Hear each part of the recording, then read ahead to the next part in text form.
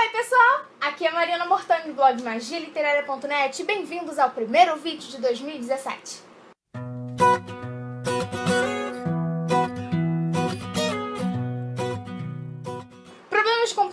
Resolvido, já iremos voltar com nossos vídeos semanalmente. Mas a primeira coisa que eu queria falar pra vocês é séries. Tem uma coisa que temos todos em comum agora, são as férias. Pelo menos na faculdade, em colégio, nas férias em relação aos estudos. E eu tenho certeza que assim como eu, vocês querem assistir muitas e muitas séries. No início do ano passado eu falei pra vocês quais eram as minhas 10 séries favoritas, séries que vocês poderiam assistir na Netflix. E eu vou deixar aqui nos cards pra vocês, obviamente. Mas agora eu quero falar pra vocês sobre 5 séries que eu conheci no ano passado, que eu assisti no ano passado, que eu estou assistindo agora nas férias, porque eu gostaria de estar assistindo muito mais, pois é, mas acontece que eu peguei uma série pra assistir que tem mil temporadas, e aí, ainda bem que ela é boa, né, porque senão eu nem tava assistindo. Mas ela é muito boa e eu tô assistindo todas essas temporadas e tá me atrasando um pouco, porque eu não sou aquela pessoa que assiste diretão em um dia. Aconteceu com uma série que eu irei mencionar aqui, mas não, eu sou aquela que gosta de assistir, sei lá, quatro episódios num dia, quero ter mais tempo para aproveitar a série. No final, vou mencionar cinco séries que eu tô querendo assistir. Quero que vocês me deem a opinião de vocês. E claro que vocês me deem sugestões para assistir séries nas férias também. A primeira série que eu vou mencionar é Rain. Gente, eu amo essa série. Tanto, tanto, tanto. Eu falei no vídeo de 10 séries ano passado sobre essa série. E eu quis falar sobre ela novamente para reforçar um pouquinho mais o quão boa ela é. É uma série que traz um pouquinho da realidade. Porque ela fala sobre a Mary of Scots, a Maria da Escócia. Pro momento eu ia falar Scotland.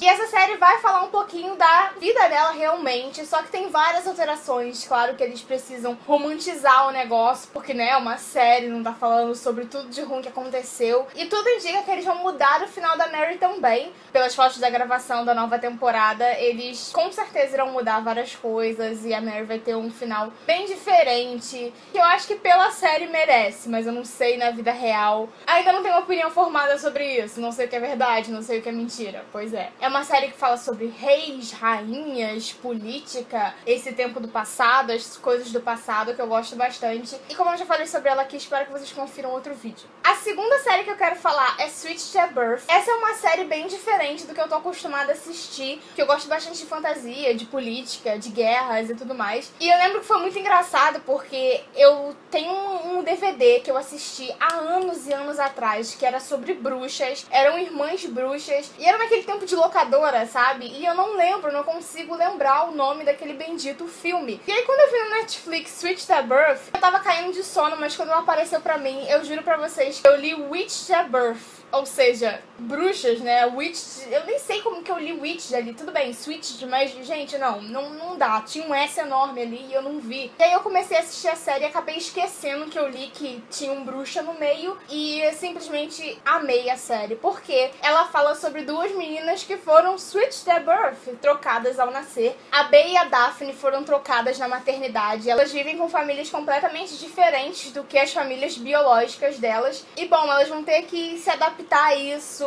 à identidade, à nova identidade delas, porque elas pensam, eu sou da maneira como eu cresci, eu deveria ser daquela outra maneira com aquela outra família. É uma série muito boa que além de todas essas coisas que essa falta de identidade ou nova identidade trazem, é uma série que fala sobre pessoas que são surdas. Então a gente tem muitas e muitas cenas em ESL, que é a linguagem de sinais americana, que é bem diferente, não bem diferente, mas é bastante diferente da linguagem de sinais brasileira brasileira, Libras. Mas eu sou apaixonada por Libras e eu aprendi um bocado de Excel nessa série. A terceira série é Orphan Black. E, gente, Orphan Black eu não vou nem falar muito, porque eu já falei sobre ela aqui. Vou mostrar um trechinho agora pra vocês da minha empolgação. Essa série é assim. Tem a Sarah. Primeiro capítulo, a gente conhece a Sarah, que é uma garota, uma mulher rebelde, assim. A gente vê que ela tem um negócio meio rebelde ali. E ela vê uma mulher na estação de trem. Ela está numa estação de trem. Ela vê a mulher meio assim também transtornada, chorando, e ela vai se aproximando. A mulher é idêntica a ela. Ela fica, que que é isso, minha gente? E você fica da mesma forma, né? Porque você fica, meu Deus, quem é essa? Só que aí algumas coisas vão acontecendo, e aí no final do primeiro episódio aparece outra mulher igual a ela. Aí você fica.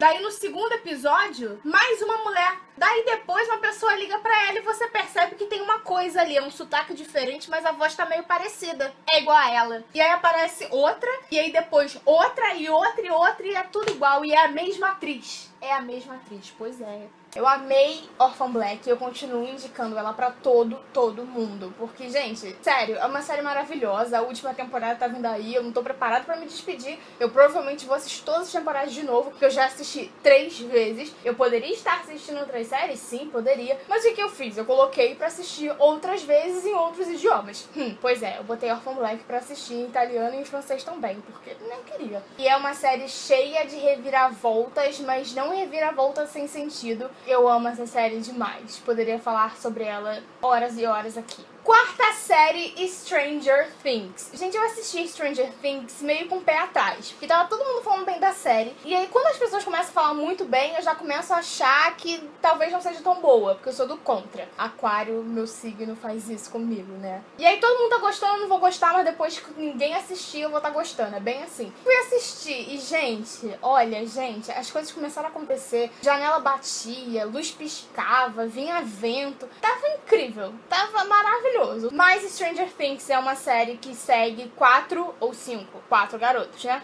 Quatro quatro garotos e uma menina, a Eleva maravilhosa, que tem todo o mistério envolvendo esses garotos e essa menina, porque essa menina tem superpoderes. E há um motivo para ela aparecer para esses garotos, porque um deles acaba sumindo numa noite e tem toda uma ligação, uma coisa meio sobrenatural, tem toda uma coisa sobre Upside Down. Tem teoria dessa série, gente? Olha, não dá não. Espero que vocês comentem aqui, porque eu tenho certeza que alguém aí assistiu para começar a falar o que, que vocês estão achando. Que olha, se tem uma coisa coisa que eu tô é ansiosa pela segunda temporada. A quinta e última série é Gilmore Girls. Essa série é maravilhosa. As primeiras cenas, os primeiros episódios me lembraram tanto a minha relação com a minha mãe e me fez gostar tanto da série. Só que eu só assisti graças a Luli Trigo, a autora Luli Trigo, porque ela tava falando sobre a série que teve agora uma sétima temporada. Uma sétima? Não, uma oitava temporada. Só que até então ninguém tinha falado sobre essa série, pra mim especificamente. Eu não sabia se ia gostar, se era o estilo que eu gostava. E aí a Luli Trigo falou sobre ela no Twitter. Eu falei, nossa, Luli, eu não assisti até hoje. É ela o que você você tá esperando, ou algo parecido. E aí eu pensei, tá, eu vou assistir. Gente, fiquei viciada, assisti vários episódios num dia só. E aí eu tô indo pra quarta temporada, só que eu já assisti a temporada da Netflix. Por quê? Porque eu sou uma pessoa ansiosa. Eu já tava sabendo de várias coisas, peguei vários spoilers. E aí eu pensei, ah, não vou ficar esperando não. Tem sete temporadas, né, gente? Vou assistir logo, pra saber o final. Depois eu vejo como chegamos até ali. E estou amando assistir agora todo o resto. Tô realmente gostando muito. É uma série que fala sobre principalmente somente uma mãe e uma filha, só que também tem a avó aí, que também está entre as Gilmore Girls, mas são pessoas diferentes que se completam, que se entendem, que brigam sim, que têm suas diferenças, mas que são unidas, que o amor as une e que principalmente vivem numa cidade maravilhosa, que tem vários personagens, pessoas, habitantes, que tornam tudo ainda mais completo, mais incrível e mais envolvente. Essas são as cinco séries que eu quero indicar para vocês, mas eu também quero saber se vocês já assistiram Zoo, Zoo. é um livro que eu gostei muito do James Patterson, mas também me indicaram Scream Sense8, 3%, Bates Motel e Jessica Jones. Me digam se vocês já assistiram essas séries, qual que eu devo assistir primeiro e, claro, me indiquem mais séries também. Espero que vocês tenham gostado desse vídeo, que deixem o seu like para saber, que se inscrevam no canal e que comentem. Vamos conversar sobre séries, vamos indicar séries uns para os outros. Um beijo e até a próxima!